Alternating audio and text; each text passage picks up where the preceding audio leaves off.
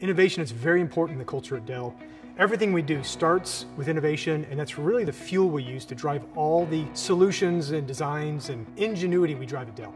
Forward-looking research projects and concepts like Concept Luna really help elevate the consciousness of what we can do when we really push the barriers of sustainable innovation and sustainable design.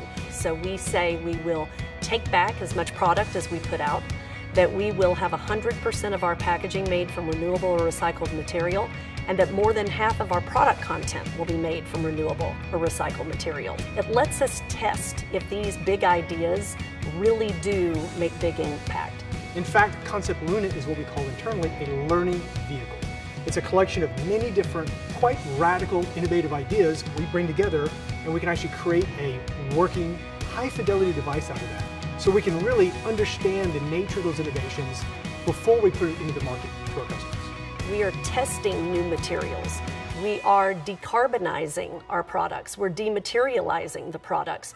And we're also testing new ways in which we can ensure products are returned.